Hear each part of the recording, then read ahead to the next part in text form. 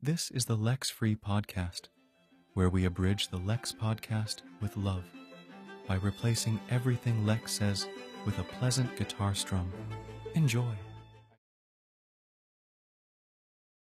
Well, there isn't all that much uh, anymore since the world's so transparent. Uh, but uh, one of the things I, I believe in, uh, and put it in the the book, what it takes is is if you're going to do something, do do something very consequential, uh, do something that's quite large, uh, if you can, that's unique. because if you operate in that kind of space, when you're successful, it's it's a huge impact uh, the prospect of success enables you uh, to recruit people uh, who want to be part of that. And, and, those type of large opportunities are pretty easily described.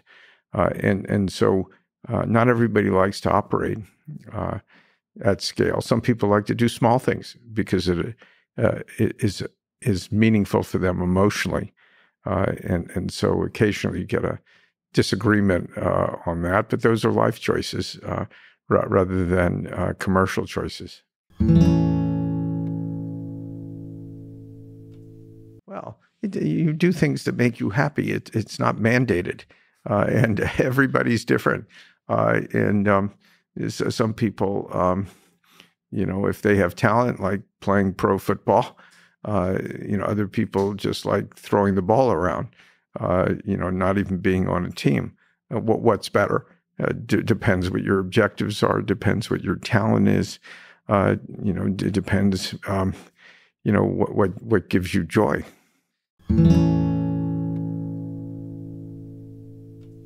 Well, it makes it easier to succeed, actually, uh, because if you catch something, for example, that's cyclical, that's that's a huge uh, opportunity, then then you usually can find some place within that huge opportunity where you can make it work.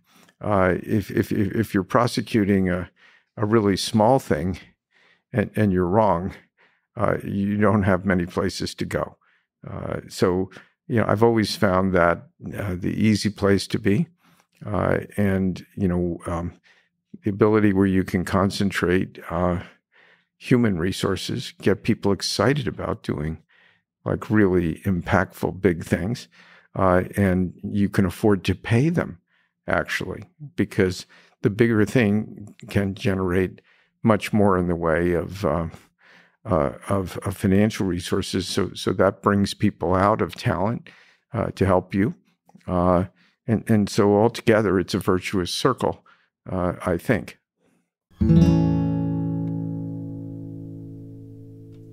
Well, it's pattern recognition. And how do you get to pattern recognition? First, you need to understand the patterns and and the changes that are happening, and and that's uh, that's either uh, it's observational on some level. You you can call it data, uh, or uh, you can just call it listening to uh, unusual things that people are saying that they haven't said before. And you know, I've always um, tried to describe this. It's like seeing a piece of white lint on a on a black dress, but most people disregard that piece of lint. They just see the dress. I, I always see the lint, uh, and and I'm I'm fascinated by how did something get someplace it's not supposed to be. So it doesn't even need to be a big discrepancy, but if something shouldn't be someplace in in, in, a, in, a, in a constellation of facts that that you know sort of made sense in a traditional way. Uh, I've learned that if you focus on why some one discordant note uh, is there, that's usually a key to something important. And if you can find two of those discordant notes, that's usually a straight line to someplace. And that someplace is not where you've been. And uh, usually, when you figure out that things are changing or have changed, and you describe them, which you have to be able to do because it's not uh, some odd intuition, it's just focusing on facts. It's almost like a scientific discovery, if you will. When you describe it to other people in the real world, they tend to do absolutely nothing about it. And um, that's because humans are comfortable in their own reality. And uh, if there's no particular reason at that moment to shake them out of their reality, they'll stay in it, even if they're ultimately completely wrong. And I've always been stunned that when I explain where we're going, what we're doing, and why, almost everyone just says, that's interesting. And they continue doing what they're doing. And, and so, um, you know, I, I, think it's pretty easy to do that. Uh, you know, but what you need is a huge data set. So, you know, before AI and people's focus on data, you know, I've sort of been doing this mostly my whole life. I'm not a scientist. I'm not, a, let alone a computer scientist. And you know, you you can just hear what people are saying when somebody says something or you observe something that simply doesn't make sense. That's when you really go to work. The rest of it's just processing.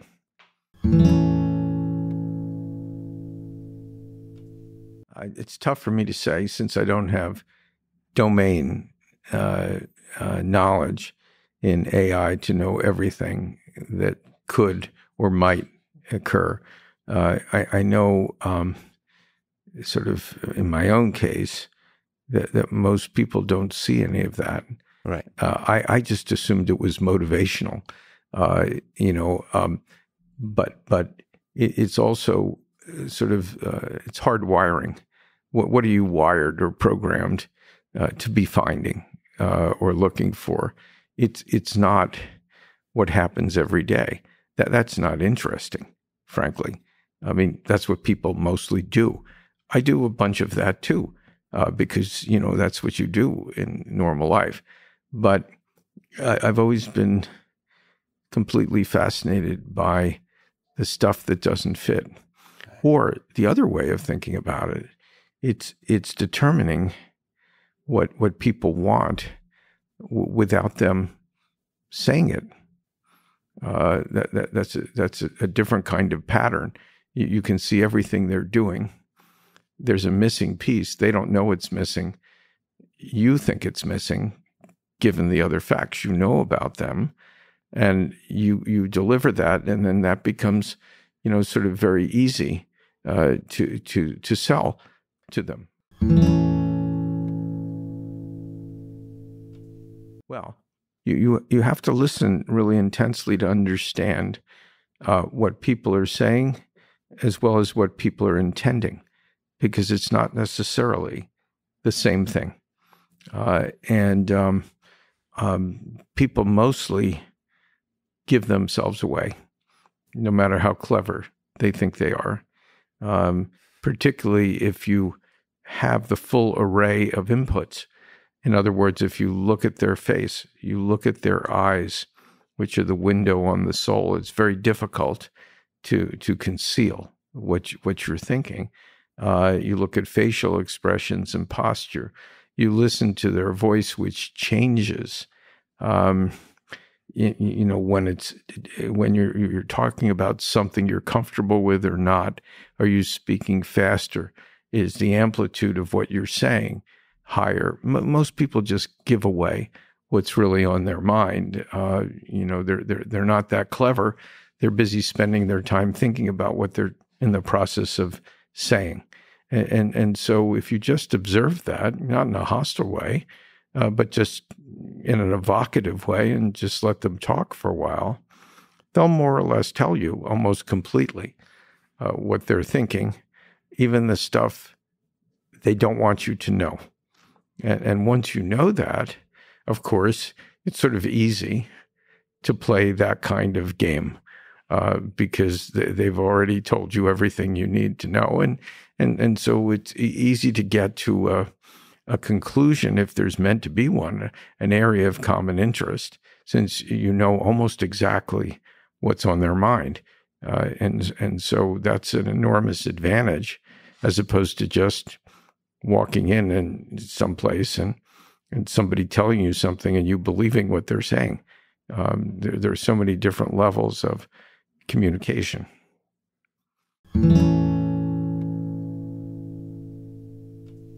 Sure. you know, if if if if you know you're going to meet somebody, there are two two types of situations: chance meetings.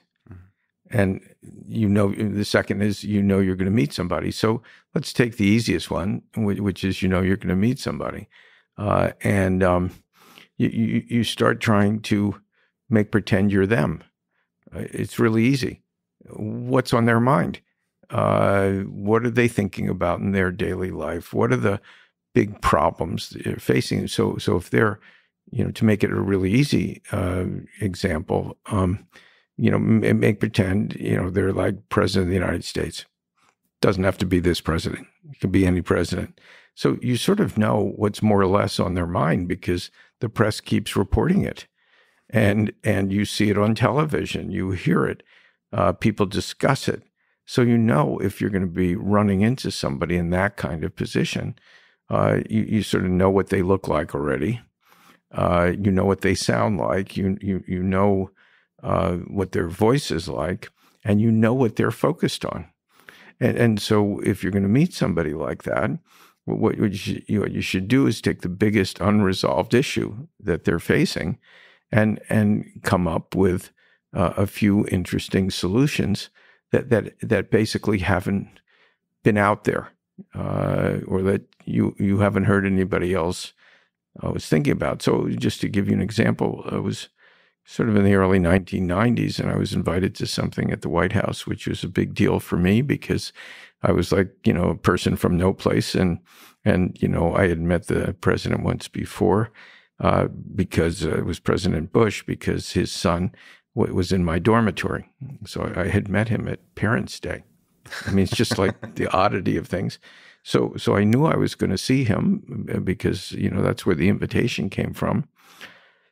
And um, so, so there was something going on, and I just thought about you know two or three ways to approach that uh, that issue. And you know, at, at that point, I was uh, separated, and so I had brought a brought a date uh, to the White House, and uh, you know, and, and so, so I saw the president, and we sort of went over in a corner for about ten minutes and discussed whatever this issue was, and I.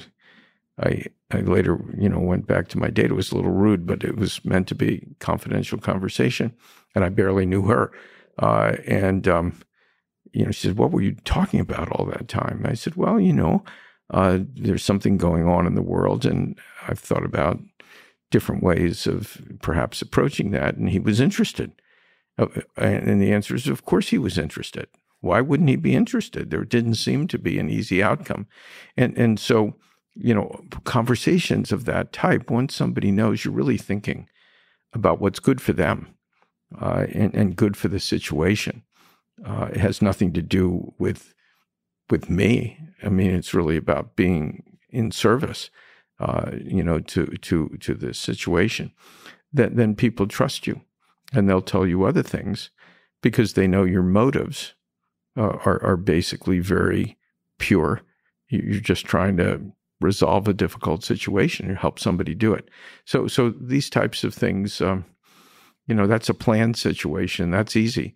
There's sometimes you just come upon somebody and they start talking, and you know that requires you know like different skills you know, uh, you can ask them, what have you been working on lately? What are you thinking about? Uh, you, you, you can ask them, you know, has anything been particularly difficult? Any, any, you know, you can ask them. Most people, if if they trust you for some reason, um, they'll tell you, and, and, then you have to instantly go to work on it. And um, you know, that's that's not as good as having some advanced planning, but but you know, uh, almost everything going on is is like out there, and and people who are involved with interesting situations, um, they're, they're playing in, in, in, in, the same ecosystem. They they just have different roles uh, in, in the ecosystem, uh, and um, you know, you, you you can do that with somebody who owns a pro football team uh, that loses all the time we specialize in those in New York. And and you know, you you you already have analyzed why they're losing, right? Inevitably, it's because they don't have a great quarterback. They don't have a great coach, and they don't have a great general manager who knows how to hire the best talent. Th- those are the three reasons why a team fails, right? Because there are salary caps. So every team pays the same amount of money for all their players.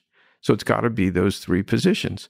So if you're talking with somebody like that, inevitably, even though it's not structured, you, you, you, you'll you'll you'll know how their team's doing, and you'll know pretty much why. And if you start asking questions about that, they're, they're typically very happy to talk about it because they haven't solved that problem. In some cases, they don't even know that's the problem. It's pretty easy to see it. So, you know, I, I do stuff like that, which I find is um, intuitive uh, as a process, uh, but, you know, le- leads to really good results.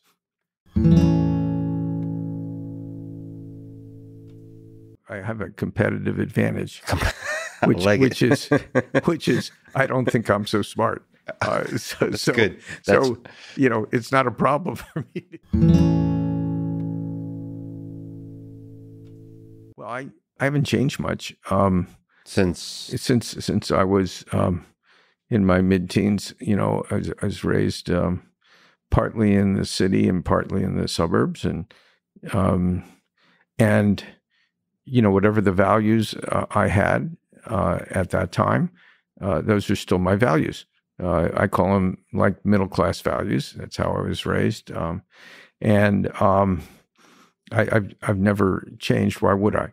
That, that's who I am, and and so the accoutrement of of um, you know the rest of your life has got to be put on the same you know like solid foundation of who you are. Because if you start losing who you really are, who are you? Uh, so I, I've never had uh, the desire to be somebody else. I just do other things now that I, I wouldn't do as a, you know, sort of as a middle class kid from Philadelphia. I mean, my life has morphed uh, on a certain level, but part of the strength uh, of having uh, integrity of uh, personality is is that you can remain in touch with um, with with with everybody who's comes from that kind of background. And and you know even though I do some things that aren't like that you know in terms of people I'd meet or situations I'm in I always look at it through the same lens. Uh, and that's very psychologically uh, comfortable uh, and doesn't require to me to make any real adjustments in my life and I just keep plowing ahead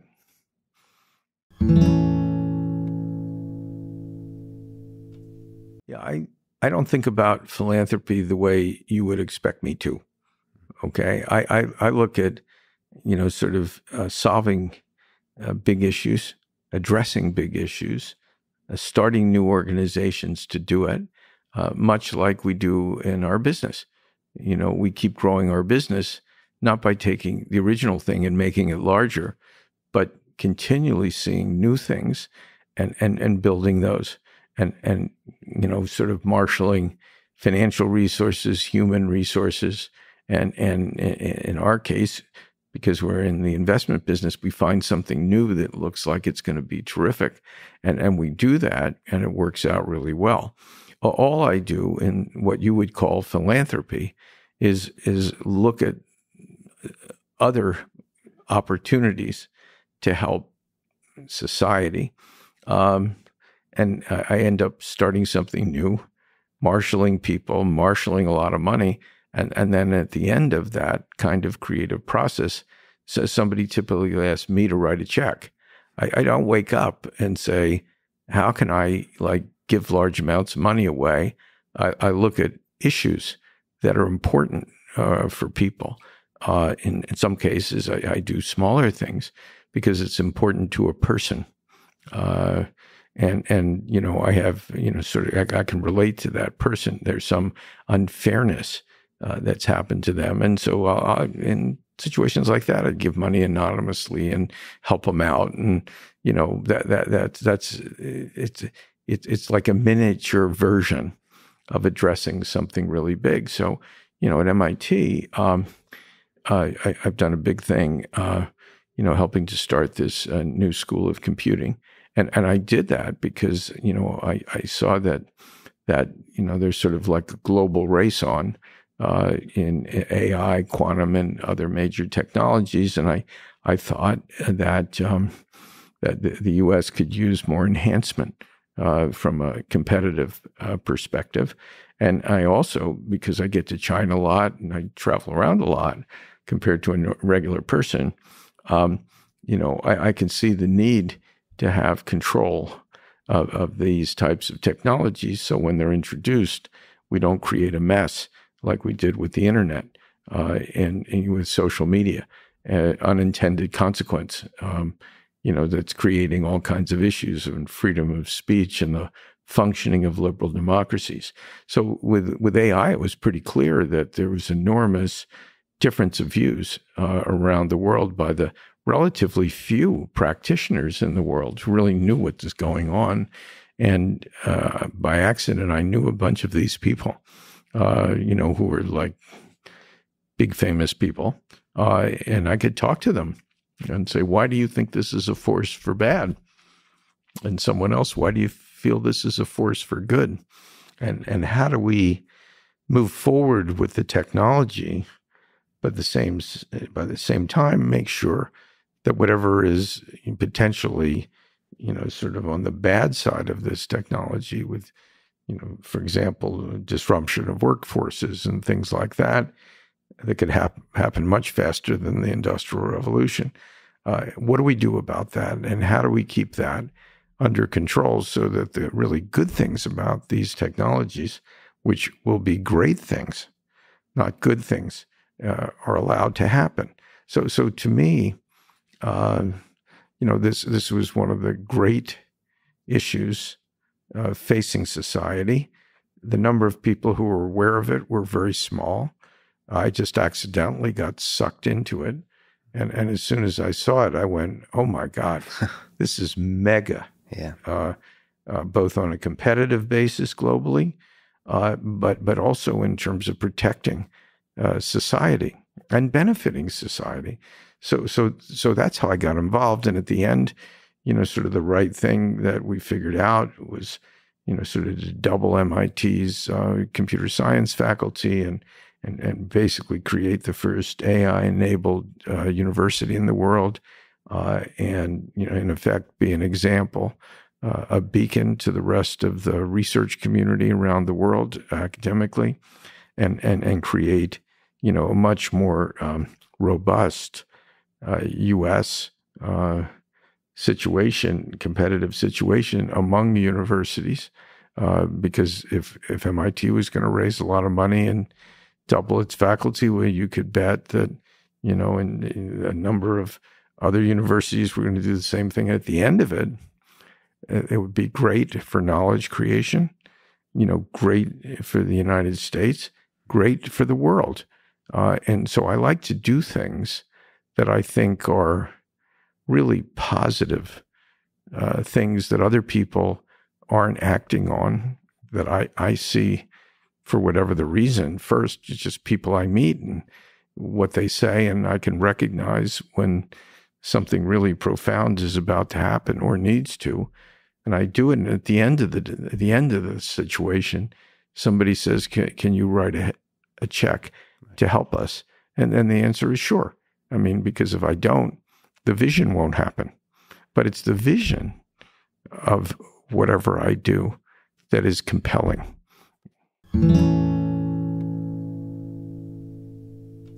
Well, it's very difficult to predict the future when you're dealing with knowledge production yes. and creativity. Um, you know, MIT has obviously um, some unique aspects, uh, you know, globally. And, you know, there's four big uh, sort of academic surveys. Um, I forget whether it was QS. Uh, there's the Times uh, in London, you know, the U.S. News and whatever. And one of these recently, MIT was ranked number one in the world. Yeah. Right. So, so leave aside whether you're number three somewhere else. In the great sweep of humanity, this is pretty amazing. Yeah. Right. So, so you have a really um, remarkable aggregation of of human talent uh, here. And um, where it goes, uh, it's hard to tell. You have to be a scientist to have the right feel. Um, but but what's what's important is you you have a critical mass uh, of people, and I, I, think it breaks into two buckets. Uh, one is scientific advancement, uh, and and if the new college can uh, help, you know, sort of either uh, serve as a convening uh, force within the university um, or, or, or, help sort of uh, coordination and communication among people, uh, th- that's a good thing. Um, absolute good thing. The second thing is is in the AI ethics area, uh, which is is is in a way equally important because if if the science side creates blowback, uh, so so that science is is is um, you know um, uh, a bit crippled in terms of going forward because society's reaction to to knowledge advancement in this field becomes really hostile. Uh, th- then you've sort of lost the game in terms of scientific progress and innovation. And, and so the AI ethics piece is super important because, you know, uh, in, in, a, in a perfect world, uh, MIT would would serve as a global convener uh, because what you need is is you need the, the research universities, you, you need the companies uh, that are driving AI and quantum uh, work, uh, you need governments who will ultimately be regulating certain elements of this. Uh, and you also need the media uh, to be knowledgeable and trained so, so, so we don't get um, sort of um, overreactions to, to one situation, which then goes viral uh, and it ends up shutting down avenues that are perfectly fine you know, to, to be walking down or running down that avenue. Uh, but, but if enough uh, uh, discordant uh, information, not even correct necessarily, uh, you know, sort of gets, um, you know, sort of, sort of gets pushed around society, then you can end up with a really hostile regulatory environment and other things. So you have four drivers that that have to be um, sort of um, integrated. Uh, and and so uh, if if if the new school of computing uh, can be really helpful in that regard, uh, then that's a real service uh, to science, and, and, it's a service to MIT. So so that's that's why I wanted to get involved uh, for both areas. Yeah, that's right. I mean, I I, I think uh, MIT is uh, perfectly uh, positioned uh, uh, to do that.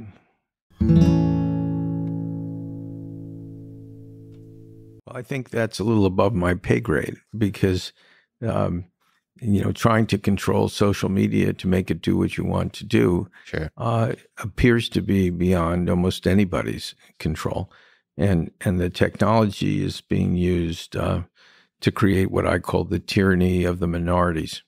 Okay, a minority is defined as you know two or three people on a street corner. Doesn't matter what they look like. Uh, doesn't matter where they came from. They're united um, by uh, that uh, one issue that they care about, and, and their job is to um, enforce their views uh, on the world. And you know, uh, in the political world, people just are manufacturing uh, truth, uh, and and they throw it all over, and, it affects all of us. Uh, and um, you know, sometimes people are just hired to to do that. I mean, it's amazing. Uh, and you think it's one person, it's really, you know, just sort of a front, you know, for a particular point of view. Uh, and this has become uh, exceptionally disruptive uh, for uh, society, and it's dangerous, and it's undercutting, you know, the ability of liberal democracies to function. Uh, and I don't know how to get a grip on this, and I was really surprised um, when we um, you know was up here for the announcement uh, last uh, spring of the College of Commu- Computing, and they had all these famous scientists, some of whom were involved with the invention mm-hmm. of the internet, and almost every one of them got up and said, "I think I made a mistake." Uh, I, and as a non-scientist, I never thought I'd hear anyone say that.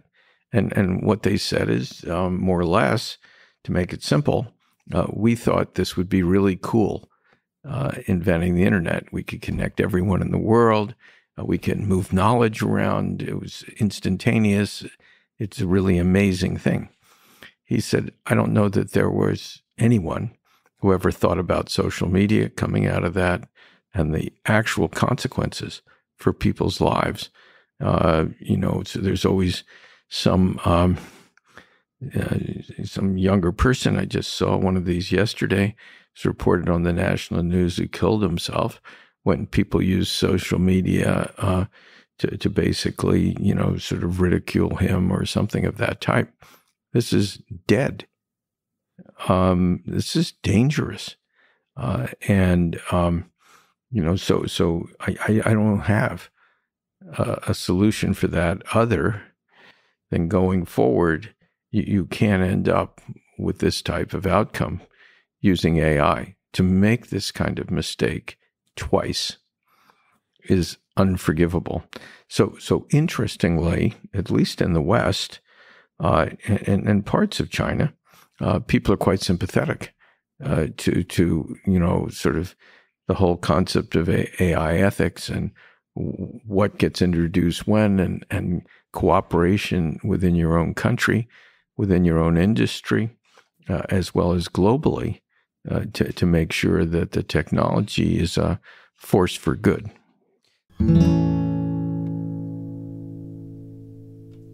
Well, it's it's sort of a wide question that you're you're asking about. Uh, you know, China is a pretty unusual place. Uh, first, it's it's huge.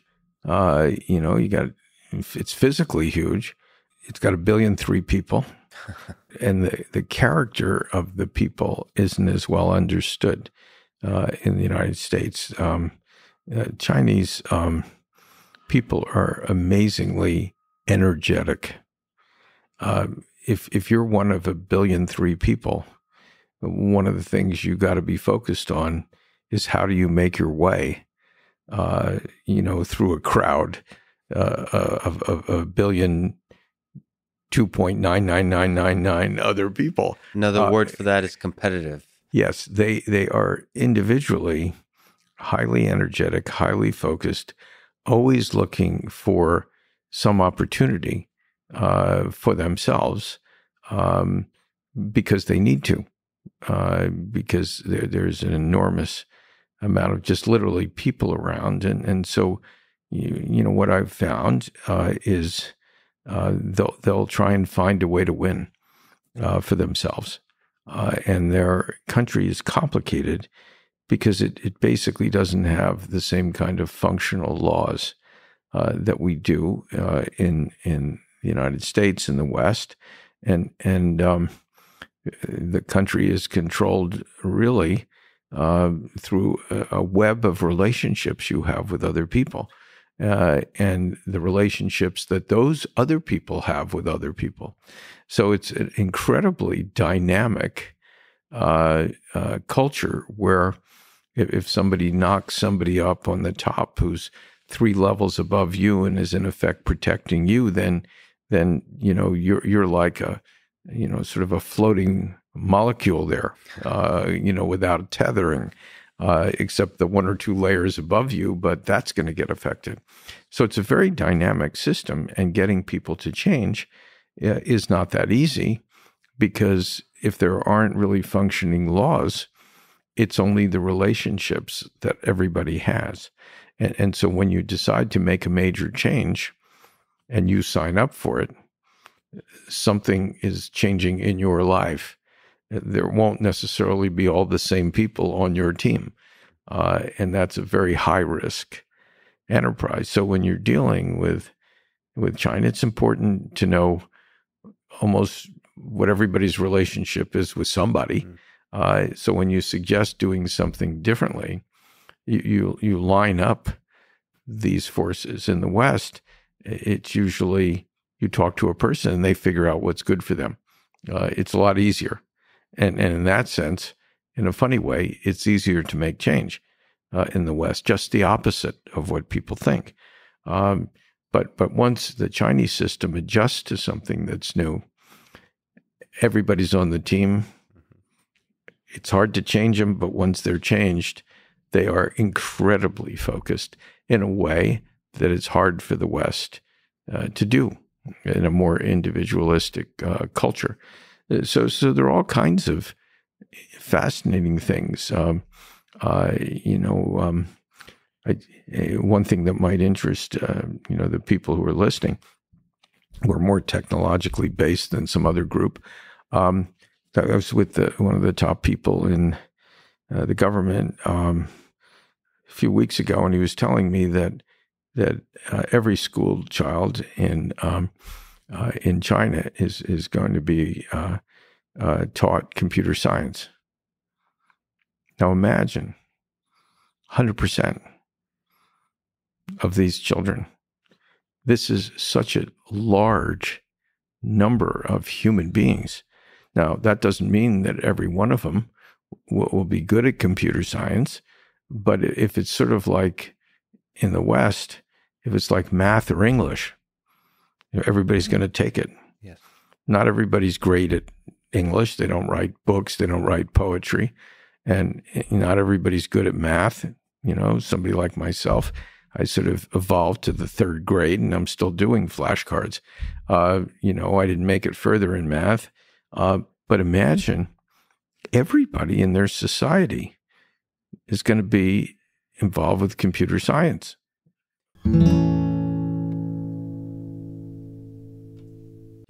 Well, we've got a complicated system because we have over 3,000 school districts around the country. Uh, China doesn't worry about that as a concept they make a decision at the very top of the the government that that's what they want to have happen, and that is what will happen. And uh, we're really handicapped uh, by this distributed, you know, power uh, in the education area. Although some people involved with that area will think it's uh, it's great, uh, but you know, you you would know better than I do. Uh, what percent of American children have computer science uh, uh, exposure? M- my guess, no knowledge, uh, would be 5% or less.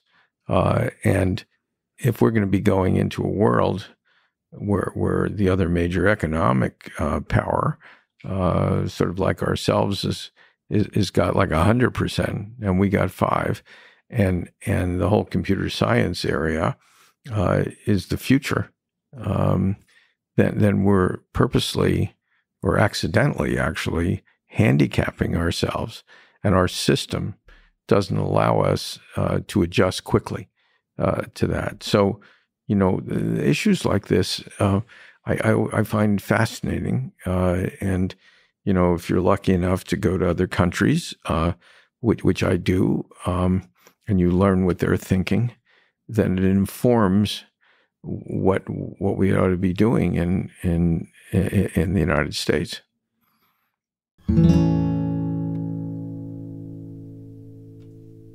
I, I think um, that you have to get the federal government in the game uh, in a big way, uh, and that um, this leap forward uh, technologically, uh, which is going to happen with or without us, uh, you know, really should be with us. Uh, and, and it's an opportunity, in effect, uh, for another moonshot uh, kind of mobilization by the United States. I think the appetite actually is there to do that. At the moment, what's getting in the way is the kind of poisonous politics we have uh, but but if you go below uh, the lack of uh, cooperation, which is is almost the defining element of American democracy right now in the Congress. If you talk to individual members, they get it and they would like to do something. Another part of the issue is we're running huge deficits. We're running trillion dollar plus deficits. So, how much money do you need for this um, initiative? Where does it come from? Who's prepared to stand up for it? Uh, because if it if it involves taking away resources from another area, uh, our political system is is not real flexible uh, to do that. Uh, if you're creating um, th- th- this kind of initiative, um, which we need, where does the money come from? Uh, and and trying to get money when you've got trillion dollar deficits in, in, a way could be easy. What's the difference of a trillion and a trillion, a little more? Uh, but but you know it's it's hard with the mechanisms uh, of Congress. But what, what's what's really important is uh, th- th- this is not an issue uh, that is unknown, and it's viewed as a very important issue. Uh, and there's almost no one in the Congress when you sit down and explain what's going on who doesn't say we, we've got to do something.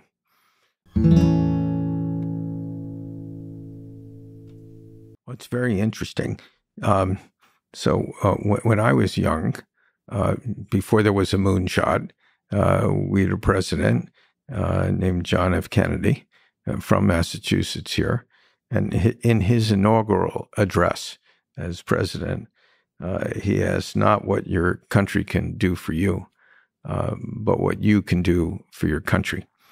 Now, we, we had a generation of people, my age, basically people who grew up uh, with that credo. Uh, and, uh, you know, sometimes you don't need to innovate. Uh, you can go back to basic principles. And that's a good basic principle. Uh, what, what, can, what can we do? Um, you know, Americans have GDP per capita of around $60,000. Uh, you know, not every, it's not equally distributed but it's big.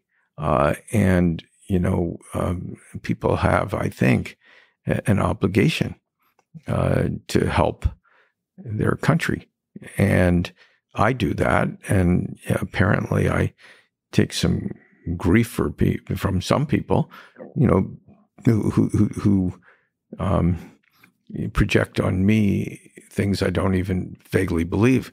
Uh, but, but, I'm like quite simple. Uh, you know, I tried to help the previous president, uh, President Obama. He was a good guy, uh, and he was a different party. And I tried to help President Bush, and he's a different party. And you know, uh, I, I, I, I, sort of don't care that much uh, about what the parties are. I care about, even though I'm a big donor for the Republicans, but it's it's what motivates me is what are the problems we're facing? And can I help people get to, you know, sort of a good outcome that, that'll stand any test? Uh, but we live in a world now where, you know, sort of the filters uh, and, the, the hostility is is so unbelievable. Uh, you know, in the 1960s, when I went to school uh, in university, I went to Yale we had like like so much stuff going on. Uh, we had a war called the Vietnam War. We had you know sort of black power starting, and and uh, you know we had a sexual revolution with the birth control pill, uh, and um, you know um, there was one other major thing going on, and right the drug revolution.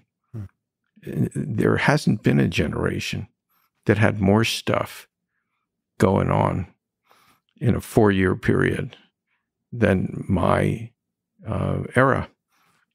Yet, there wasn't this kind of instant hostility if you believed something different. Everybody lived together and and you know respected uh, the other person, and and I think that you know, this type of change needs to happen, and it's got to happen uh, from the leadership of of our major institutions. And I, I don't think that that leaders can be bullied uh, by people who are against, you know, sort of the classical version of free speech and letting open expression and yes. inquiry. That's what universities are for, uh, among other things, uh, Socratic methods, and uh, so so I I have um, uh, in, in in the midst of this like onslaught uh, of oddness, uh, I, I, I believe in still the basic principles, and we're going to have to find a way to get back to that. And that that doesn't start with the people, uh, you know, sort of in the middle to the bottom who are using, you know, these kinds of screens to to shout people down and and create an uncooperative environment. It's got to be done uh, at the top with core principles that are articulated.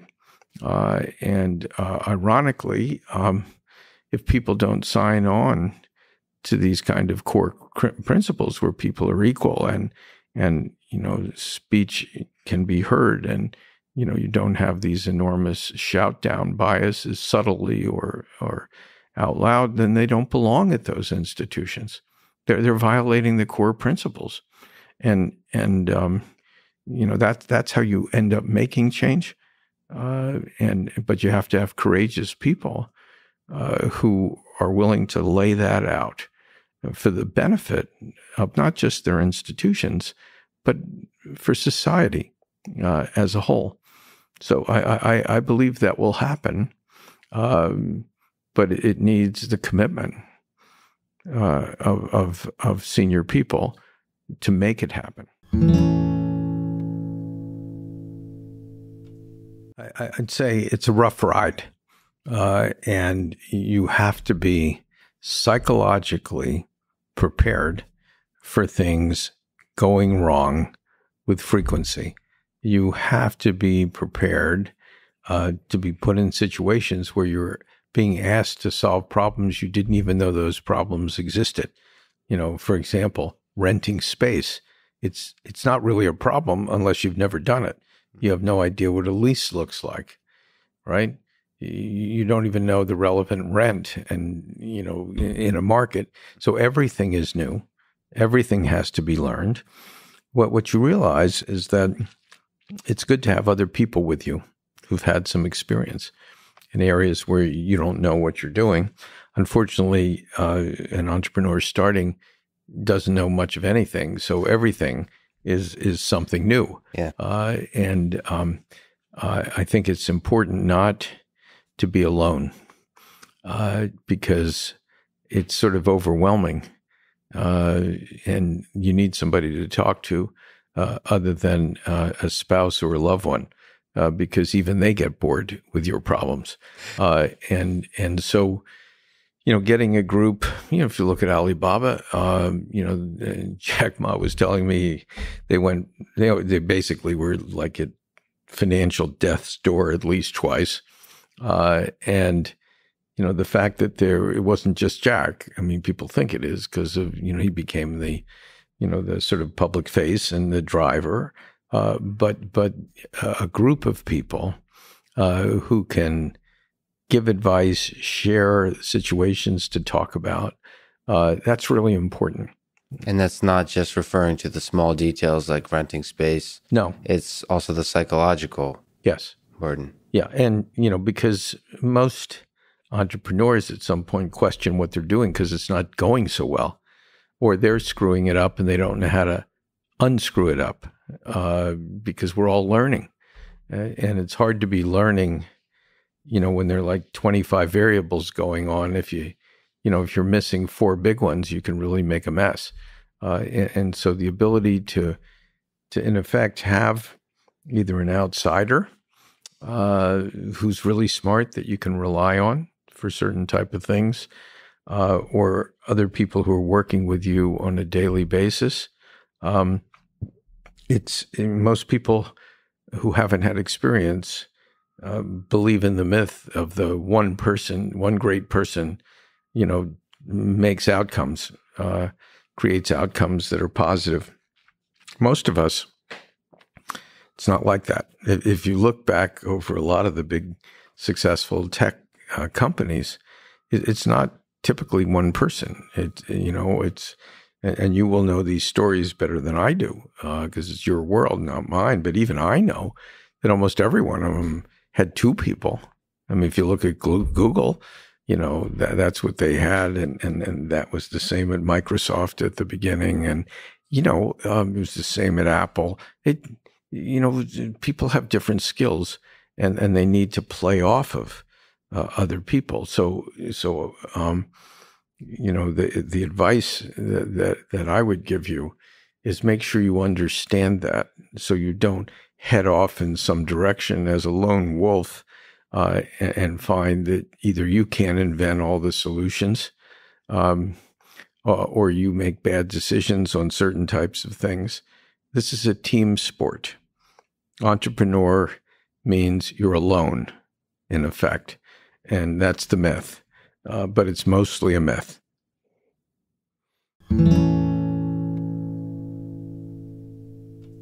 Well, ultimately, all journeys are alone. Um, it's great to have support. Um, and you know, um, when you, you you you go forward and say your job is to make something work, and that's your number one priority, um, and, and you're going to work at it to make it work. You know, it's like superhuman effort. People don't um, become successful as part-time workers. It doesn't work that way. Uh, and if you're prepared to make that 100 to 120 percent uh, effort, you're, you're going to you're going to need support, and and you're going to have to have people involved with your life who understand that that's really part of your life. Uh, sometimes you you're involved with somebody and you know they don't really understand that and that's a source of you know sort of conflict and difficulty. But if you if you're involved with the right people, uh, you know whether it's a sort of dating relationship or um, you know sort of a, um, you know spousal relationship, um, you know you you have to involve them uh, in your life, uh, but not burden them hmm. with with every you know sort of minor triumph or mistake. They they actually get bored with it after a while. And, and so you have to set up different types of ecosystems. You, you have your home life, you have your love life, uh, you have children, and, and that's like the enduring part of what you do. And then on the other side, you, you've got the you know sort of unpredictable nature uh, of um, of of of this type of work, what what I say to people at my firm who are younger, usually, um, well, everybody's younger, but but um, you know, people who are of an age where, where, where you know they they're just having their first child, uh, or maybe they have two children, that it's important um, to to make sure they go away uh, with their spouse uh, uh at least once every two months to just some lovely place where there are no children, no issues. Uh, sometimes once a month, if if they're you know sort of energetic and clever, uh, and that um, escape the craziness of it all. Yeah, and, and and reaffirm uh, your your values as a couple, uh, and you have to have fun. If you don't have fun with the person you're with, uh, and all you're doing is dealing with issues, then then that gets pretty old, and, and so you have to protect the fun element uh, of your life together. And the way to do that isn't by hanging around the house and and dealing with you know sort of more problems. You have to get away and and reinforce and reinvigorate uh, your relationship. And whenever I tell one of our younger people about that, they sort of look at me and It's like the scales are falling off of their eyes and they're saying, geez, you know, I hadn't thought about that. You know, I'm so enmeshed in all these things, but that's a great idea. And that's something as an entrepreneur you, you also have to do. Uh, you, you just can't let relationships slip because you're half overwhelmed.